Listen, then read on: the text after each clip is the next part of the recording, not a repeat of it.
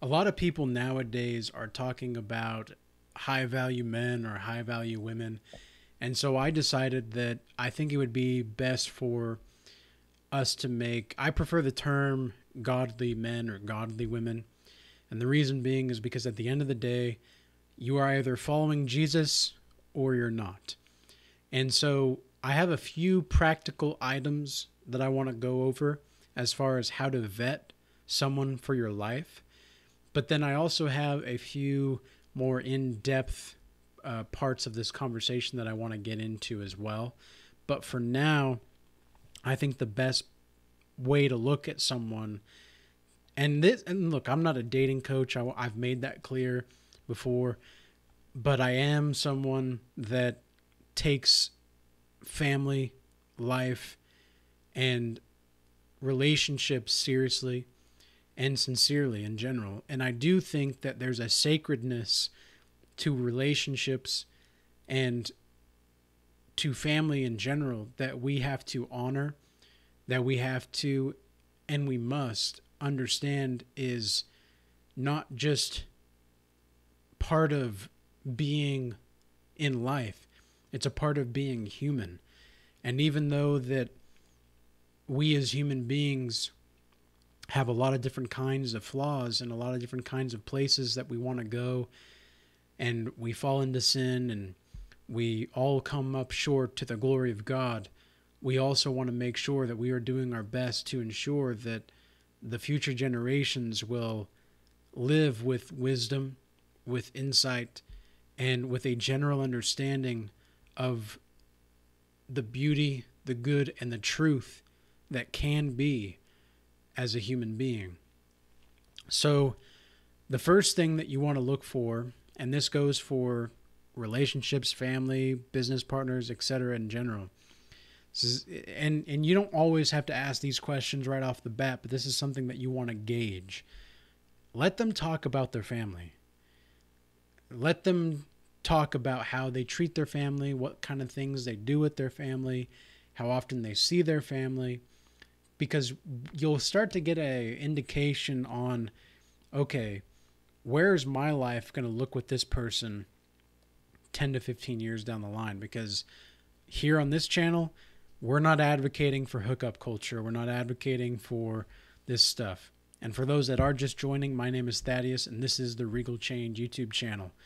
We're not here to promote hookup culture or to promote one night stands or even just if you have a girlfriend or a boyfriend for a few months and then you break up and then you guys already had sex, but then you want to go and you want to get another boyfriend or girlfriend, you want to start having sex with them. Well, let's say you have two boyfriends or two girlfriends a year, and by the time you're 25, you've already racked up 10 different people. Like that's that's freaking that's wild. That's wild. So we don't we don't want to uh like promote that kind of stuff. And I'm not trying to shame anybody if they are at that point, but we're here to evolve and we're here to grow and we're here to learn from the mistakes that we've done. So let them talk about their family and see where they, where they stand with their family because there are some outliers that men and women where they had to uh, keep your their family at arm's length or even no contact altogether. This is where you have to really get into the understanding of what you're dealing with on the other side and understanding that you know what is the situation? What is the situation? Because sometimes it can be very complex. Sometimes it can be very uh, i don't like the term complicated but i prefer the, t- the term complex so then you got to see what their friends are like and what kind of people they hang around. You know when they're hang- when they are hanging out with these kinds of people what are they talking about? What are they saying? When you go out and do different things with this this kind of person what are they like? What is their temperament? How do they handle stress with with their friends? How do they handle conflict with their friends or their family or how do they handle these kinds of more confrontational discussions sometimes that's going to be an, another indicator on where you're at and where you're going to be going with them. How do they spend their time on the weekends? This is something I learned a long time ago was that how you spend your weekend now is going to determine where you end up 10 to 15 years from now. And the reason that that is is because when I was in my early 20s, I partied a little bit. I I wouldn't even consider it really partying because even when I did go to the party, I didn't really partake in anything. And there was one time that I did get drunk at a party and it was honestly just not fun. It was just not for me. I really did not like not feeling like I could be who I was or just in in control of myself around a bunch of strangers. I really didn't like that. And so I decided I'm not going to do that. And, you know, what are these kinds of people going to be like 10 to 15 years down the road? Like, are they going to continue this lifestyle? And if they do continue this lifestyle, what kind of pattern is that setting for, and what kind of tone is that setting for going forward? That's going to be something that you have to look at and what you have to understand. So, how do they spend their weekends, or how do they handle uh, being emotionally distressed. If they are emotionally distressed, do they go out and buy something to make themselves feel, feel better or distract themselves?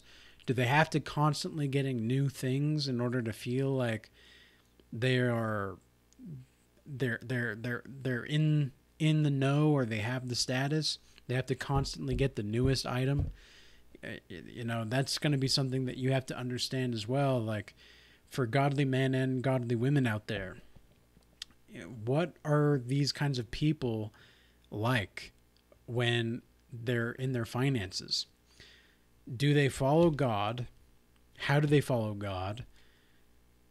How do, do like what you're asking in these things, like, and what you're trying to really understand is okay, well, does this person follow God for real or not? Does this person have financial illiteracy?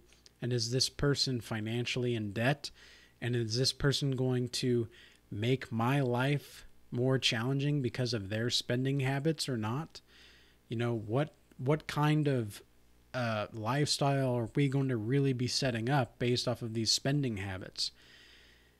How do they treat their friends or family with affection? Do they have affection?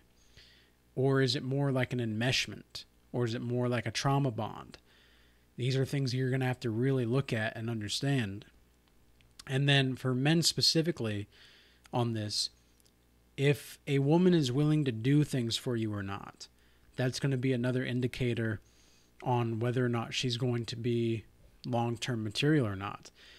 I've had women that have faked submissiveness in the past and they act all submissive and cute and then the second that I I ask them to help me out with something or like like there was a a couple times where I was out planting potatoes, and there was this girl at, the, at my old place that I was at, and she was walking by, and we kind of like we didn't really have a thing, but we we had something, I suppose. Like we never really did anything, but uh, I asked her like, because I knew if she was able to help me, you know, depending on her response, like what kind of woman this really is because she had faked submissiveness up until that point, and I couldn't really tell if she was actually being submissive or not.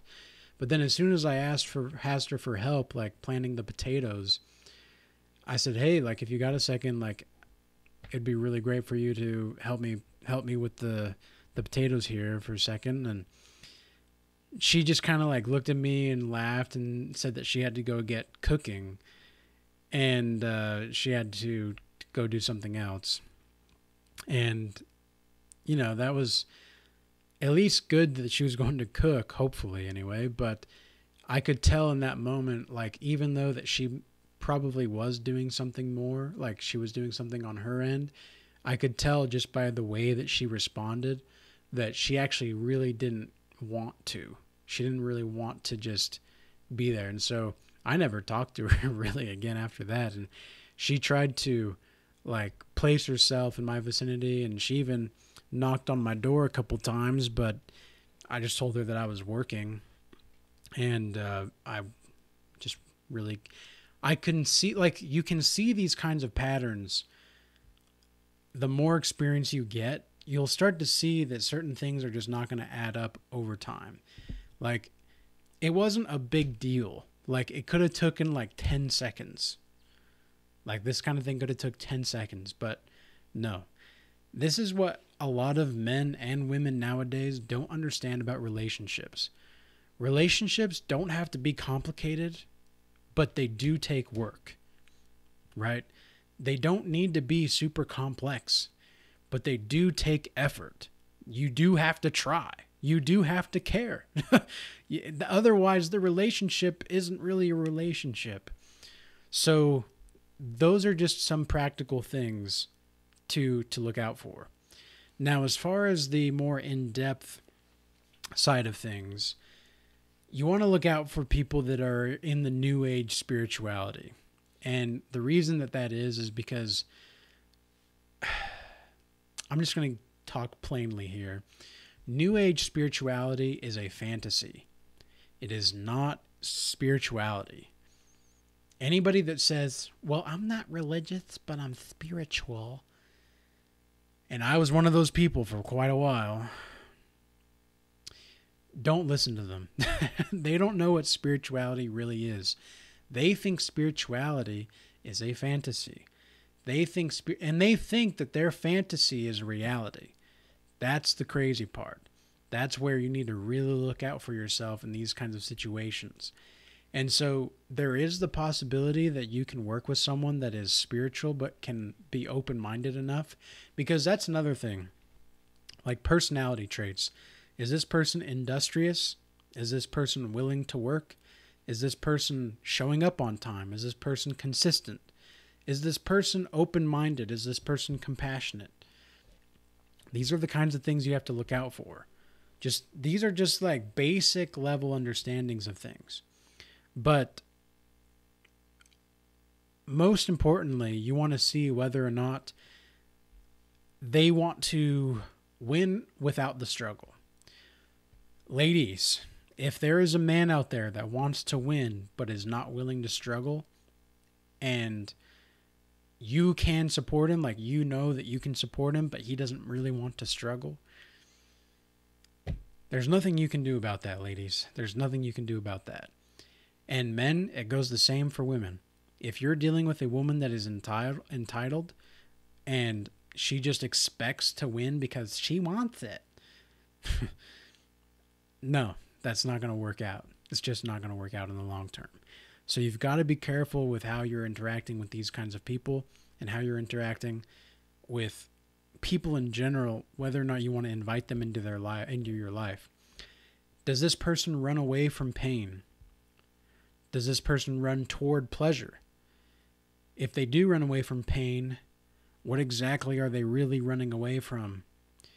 And if they're running toward pleasure, what are they really trying to get? Are they trying to get just to fill the void? Are they trying to get social status? Are they trying to just get a, attention? You know, what are these kinds of people trying to get?